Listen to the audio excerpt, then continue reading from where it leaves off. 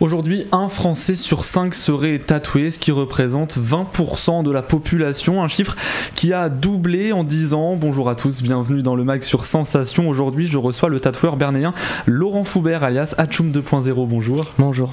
Laurent, avant d'être tatoueur, vous étiez artiste peintre. Alors pour commencer cette émission, comment a débuté votre histoire avec l'art et plus précisément le dessin? Alors moi je, bah, je dessine depuis, euh, depuis mon plus jeune âge et j'étais parti dans tout ce qui était peinture perso, euh, voiture, moto, camion. Euh, j'ai fait pas mal pas mal de choses mais ce qu'il y a c'est qu'à la longue ça se développait pas. Donc j'avais pas assez d'activité et c'est là que je me suis dit pourquoi pas le tatouage. Alors qu'à la base je n'aime pas les tatouages ni, le ni les tatoueurs donc c'est pour ça que c'est assez rigolo, mon histoire est assez rigolote. Pourquoi justement avoir décidé de vous tourner vers le tatouage? Parce qu'il y a quand même pas mal de, domaines explorables dans, dans, dans l'art Alors en fait ce qu'il y a c'est que moi je voulais vraiment partir sur des, choses qui restent. Donc forcément, bah, le tatouage, ça reste. Et donc du coup, bah, je dis bah pourquoi pas. Et comme c'est une nouvelle technique, et comme ça se rapproche beaucoup de l'aérographe, parce que je fais beaucoup d'aérographe, c'est le même procédé. Et en plus, je suis soudeur de métier, donc forcément, c'est aussi le même procédé. Donc c'est ni plus la même technique avec le, avec le poignet. Et donc du coup, je me suis dit pourquoi pas essayer le tatouage. Est-ce que vous pouvez nous, dire en quoi consiste l'aérographe?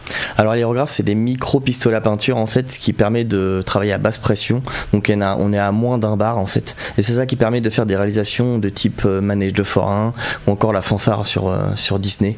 Voilà le, parc en fait tout ça c'est fait à l'aérographe. Et comment passe-t-on du dessin, de la peinture donc au tatouage? Est-ce que vous avez suivi une formation? Comment ça s'est passé? Alors non pas du tout. Euh, moi j'ai essayé de trouver d'autres artistes qui puissent me former. Donc j'ai vraiment tapé partout. Donc j'étais euh, tapé dans le nord, j'étais tapé dans le sud.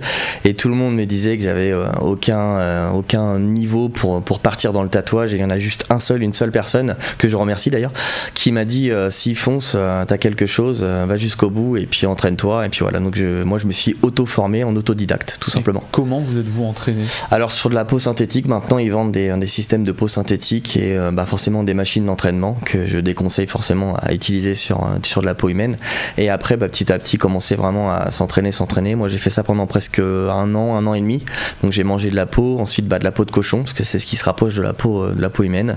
Et après, bah, petit à petit, j'ai commencé à faire mes premiers tatouages sur moi-même pour éviter justement les catastrophes. Il y, a eu, il y a eu des ratés justement au tout début? Moi, je peux pas trop dire Franchement, non, je pense pas qu'il y a eu de dératés. Donc, c'est sûr que maintenant, quand on voit mes tatouages d'il y a 8 ans et puis les tatouages que je fais maintenant, forcément, il y a, une échelle qui, a été montée. Donc, forcément, entre deux, en plus, j'ai suivi bah, beaucoup de formations, j'ai fait des séminaires, j'en ai fait deux, qui m'ont forcément apporté euh, beaucoup, beaucoup de choses.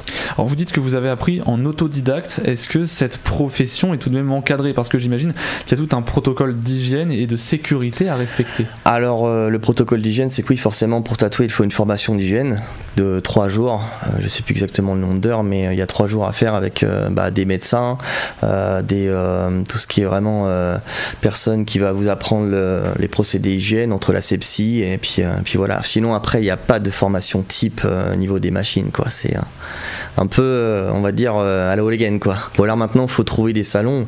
Moi maintenant j'ai deux apprentis sous, ma, sous ma coupe donc forcément ça aide un peu plus pour les aider à lancer directement dans Et c'était l'objet de ma prochaine question. Aujourd'hui vous formez vous-même des nouveaux tatoueurs en quoi est-ce important pour vous de, transmettre votre savoir-faire? Bah moi je pense que quand il y a quelqu'un qui a quelque chose dans l'art, pourquoi pas? Voilà, l'idée c'est on est à fond dedans, bah on va pas arrêter. Donc euh, si je peux les aider pour justement évoluer, en plus ils aiment l'art, donc ce serait dommage de pas de les, laisser partir à côté quoi. Alors votre nom d'artiste c'est Hachoum 2.0, d'où vous vient ce pseudo? Alors moi déjà Hachoum il date depuis l'âge de 10 ans, donc euh, c'était quand j'étais en centre bah pas loin à Plane, et donc du coup en fait euh, j'éternue beaucoup à cause du soleil, et puis bah ce qu'il y a c'est que j'ai éternué, donc du coup un jour un mono m'a dit ah salut Hachoum, et donc du coup j'ai gardé ce pseudo là pour toutes les activités que j'ai pu faire. Et pourquoi Hachoum 2.0 Alors le 2.0 en fait il est venu après, au tout début c'était la compagnie parce qu'on était plusieurs. Et maintenant c'est le 2.0, c'est comme un renouveau de moi-même. Pourquoi ce, besoin de, faire un renouveau de vous-même? Est-ce que c'est un choix que vous avez fait quand vous êtes euh, passé au tatouage? À quel moment vous avez décidé de... Pas du tout, en fait j'étais déjà tatoueur, euh, j'ai commencé par Hachoum Tattoo, ensuite Atelier Hachoum et compagnie et maintenant Hachoum 2.0 pour vraiment rester sur moi-même tout simplement. En fait, c'est comme un renouveau parce que depuis le 2.0, j'ai vraiment euh, monté la barre très haute dans le tatouage. Aujourd'hui, est-ce que vous êtes spécialisé justement dans un type de tatouage ou est-ce que vous pouvez faire tout ce que l'on vous demande? Alors, je peux faire une grosse gamme de tatouages. Il y a des tatouages que je préfère pas faire quand je ne, sais- je ne connais pas la signification, notamment le maori et le polynésien. Par contre, le restant, oui, je peux faire presque tout, mais je suis vraiment spécialisé dans le thème animalier floral. Il y a d'autres tatouages, d'autres raisons pour lesquelles vous pouvez refuser de, euh, de faire un tatouage, par exemple parce que vous vous dites que la personne pourrait regretter ou parce que son tatouage représente quelque chose qui va contre vos valeurs? Bien sûr, bien sûr. Des fois, ça m'arrive de refuser parce que c'est pas du tout euh, le genre de tatouage que je fais. Puis bon, en plus, ça ne va pas du tout à la personne. Donc, euh, on essaye de connaître quand même la personne.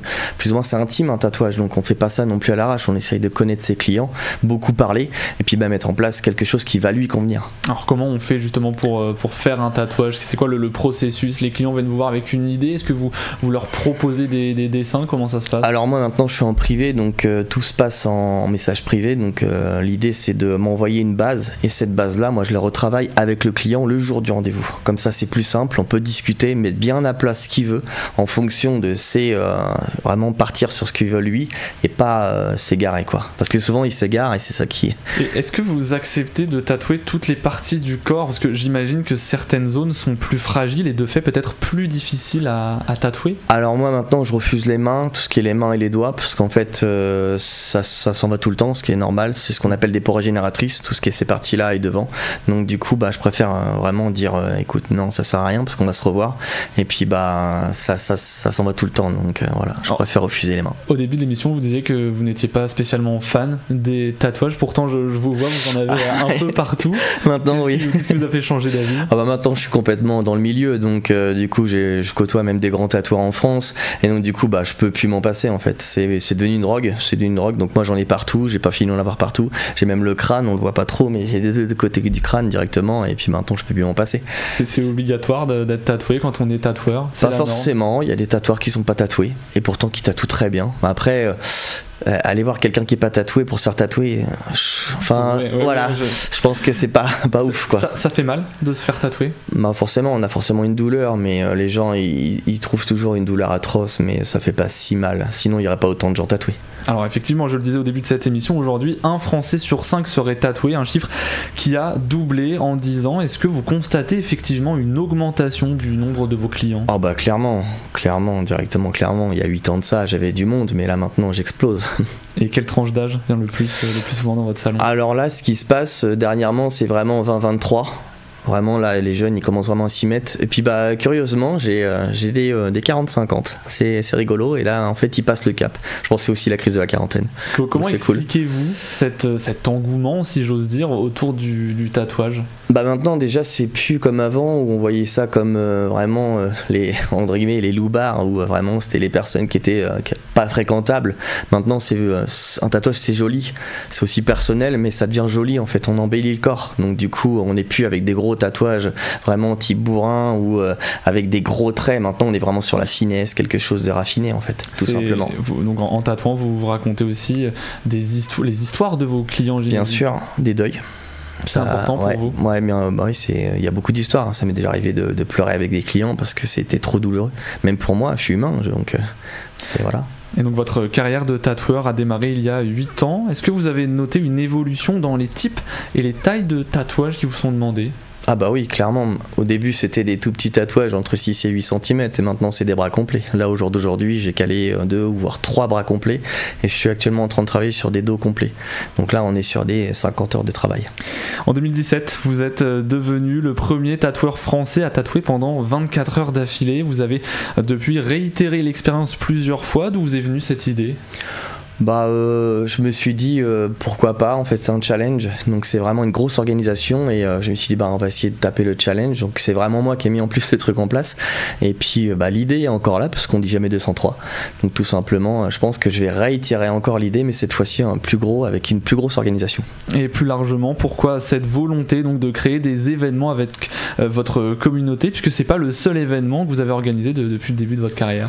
Bah en fait, déjà d'une part, c'est des petits tatouages à moindre coût. Donc c'est souvent les, personnes qui débutent dans le tatouage qui viennent au moment de cet événement et qui veulent voir un peu la, la, douleur du tatouage. Et ben donc du coup je me dis bah pourquoi pas euh, justement réitérer plusieurs fois l'idée et puis bah ça permet à les plus démunis de faire des petits tatouages à moindre coût en fait tout simplement. Merci beaucoup Laurent Foubert alias Hachoum 2.0 d'avoir été avec nous sur Sensation. Je rappelle que vous êtes euh, tatoueur à Bernay. Pour plus d'informations, rendez-vous sur votre page Facebook. Merci d'avoir suivi cette N'oubliez pas que vous pouvez la retrouver en podcast audio et vidéo sur notre site et notre application Radio Sensation ainsi que sur notre chaîne YouTube.